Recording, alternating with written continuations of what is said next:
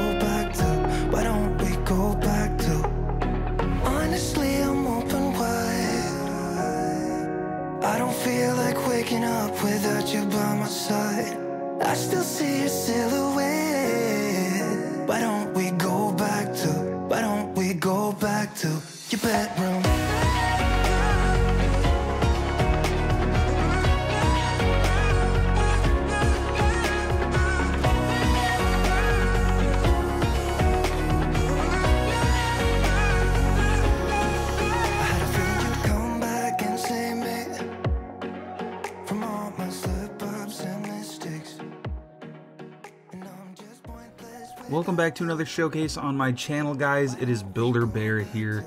Uh, before we get started, if you could scroll on down, click the like button, click subscribe, and then ring the bell. It's going to keep you up to date on everything I have going on on my channel.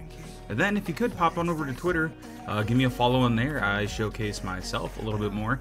Also do giveaways over there. I just got done giving away an Xtrfy um, mouse bungee and large mouse pad.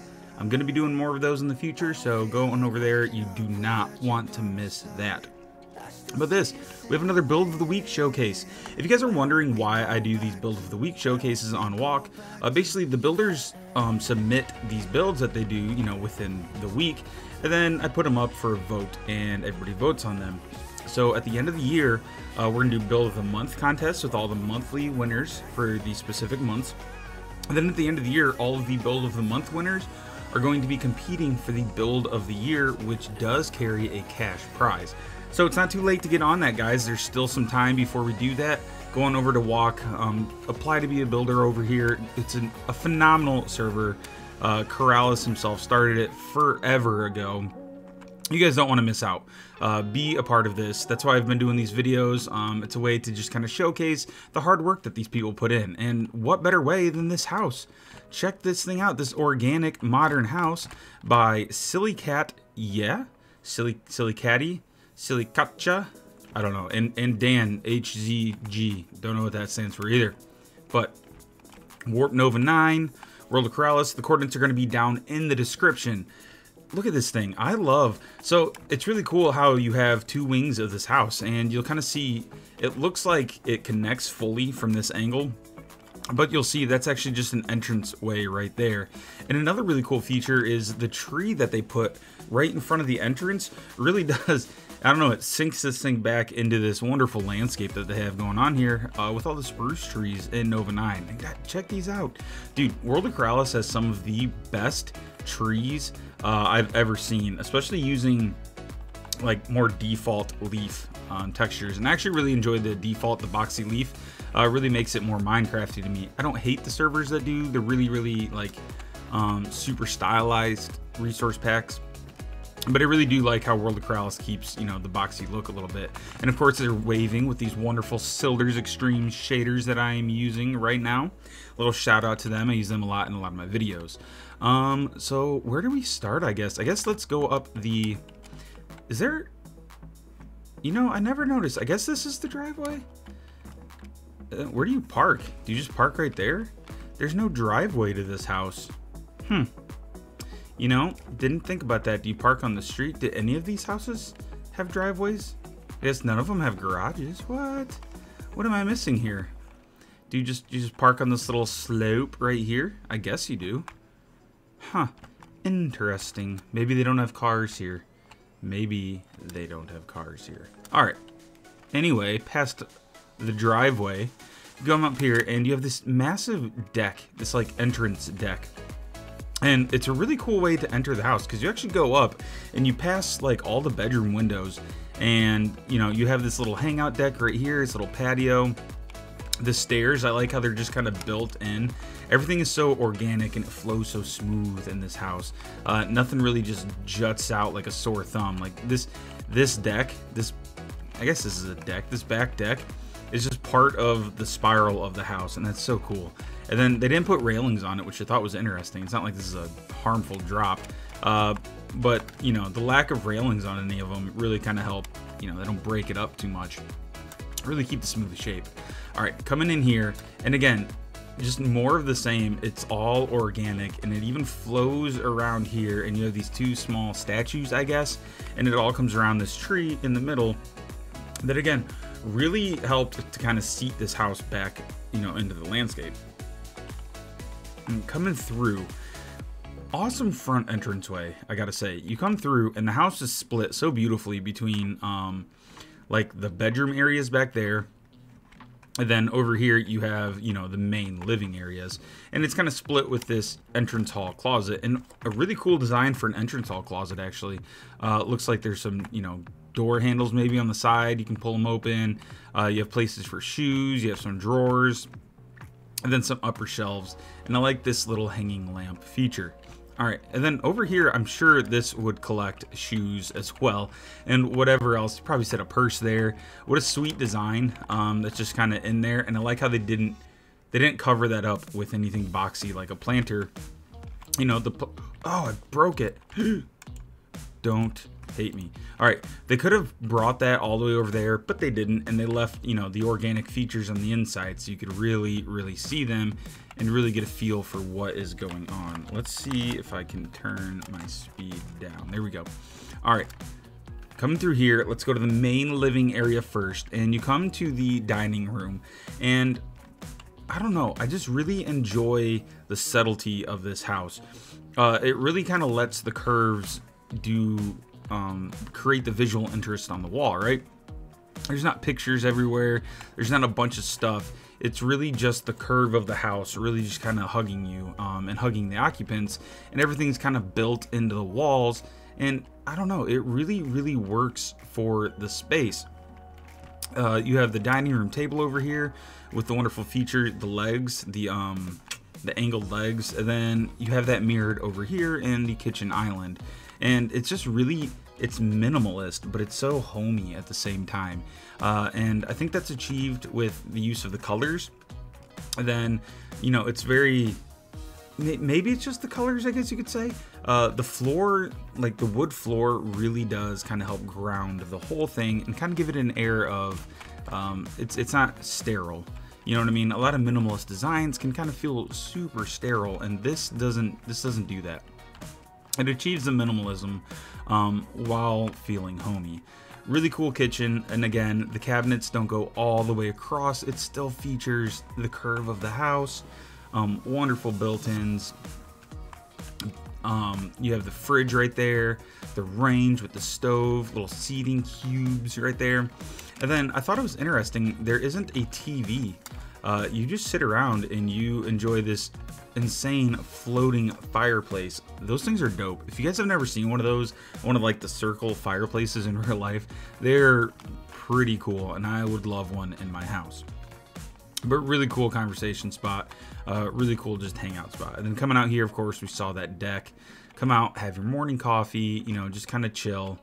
Beautiful. I love how it's integrated into the house you guys killed it. Um, I'm always interested uh, in these collaborations who did what. You know what I mean? Like, I want to know who came up with what idea. Like, how did you guys bounce ideas off of each other?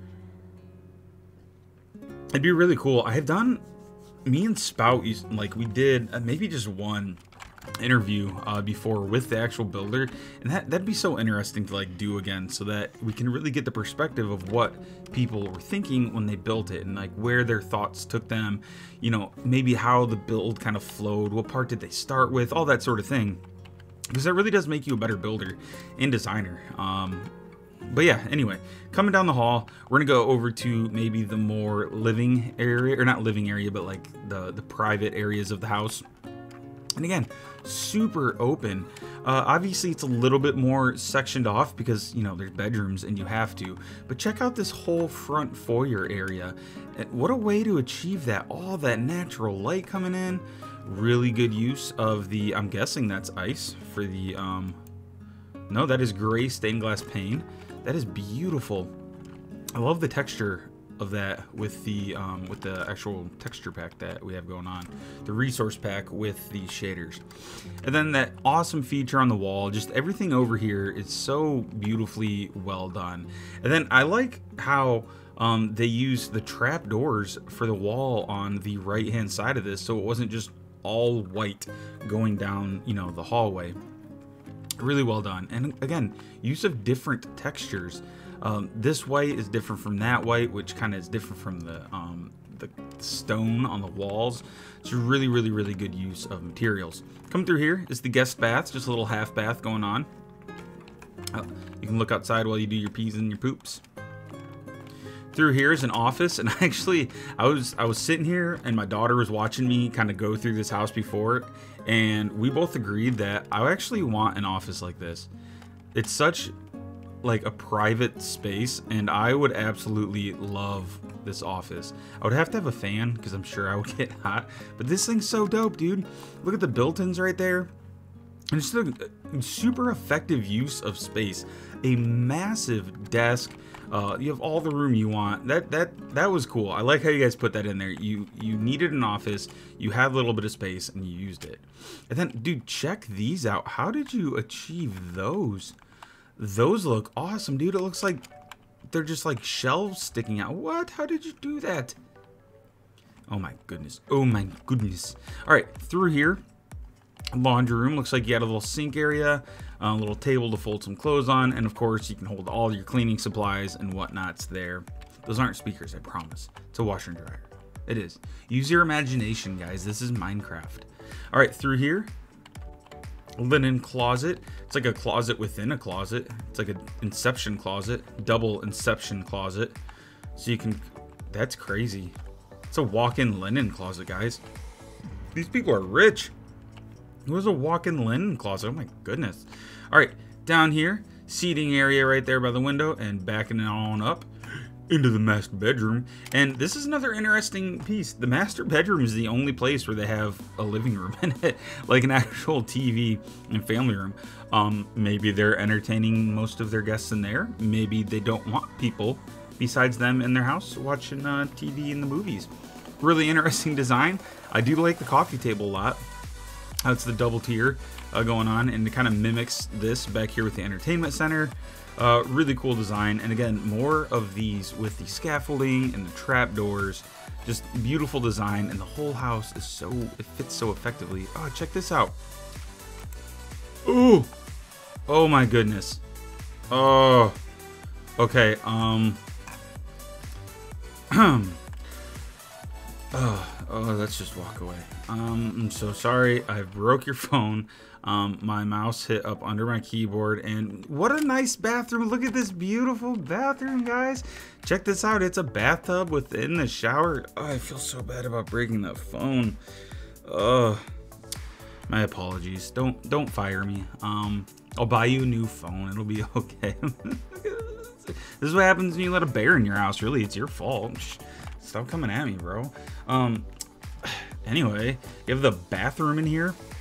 Oh, bathtub within a shower. Kind of cool design. It's a double shower. It's a his and hers and a his and hers and a third. Hmm. Anyway, coming out here is the walk-in closet with a huge mirror. His and hers and a thirds. All right, let's go up the stairs and let's finish the tour with the rest. I'm really scared I'm gonna click the button again. I don't want to click the button. I wish I could turn off. I don't want to go in spectator mode because then I can't walk through things. Then I'll be like Casper the Friendly Ghost and just going through walls. But I don't want to be able to break things. I wish I could turn off the ability to break things while I'm doing these these videos. Oh, there's another phone over there. I don't even want to go over there and touch it. All right, here is another bedroom. This one has an interior balcony. I love balconies. Check this out. This has like a little. You can. This is your castle, guys. King of the castle, king of the castle. You are up here watching the guests come in. You can hurl down insults if you're under siege. If if somebody is laying siege to you from the front door, this is where you dump hot tar on them like the medieval times. It's a thing, I promise. Look at that. You can do that. This is your this I port, port. What are those called? I don't. I'm not good at medieval. I'm not good at modern architecture. I'm not good at medieval architecture either. So anyway, that's what that's for. Probably not. Through here, another bedroom. More of the same. I like the use of, again, the um, scaffolding for that. And then a lot of like this carpet with this chair and this little um, ottoman like coffee table deal. It really kind of mimics what we saw in the bedroom immediately below it. They had the you know large seating area and their coffee table. It's all tiered.